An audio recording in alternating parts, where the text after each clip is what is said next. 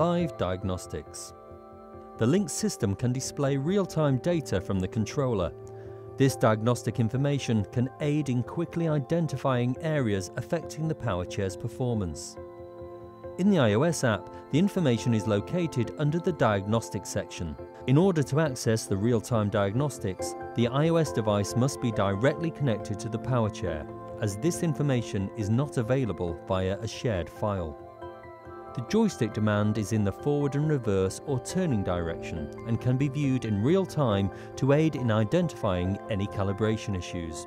Live motor voltage and currents can be viewed per channel to assist in identifying worn or damaged motors. Changes made by the adaptive load compensation to the motor resistance can also be seen.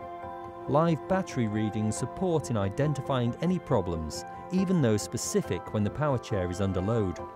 Lastly, the speed pot calibration can be checked live to ensure full speed adjustment is available.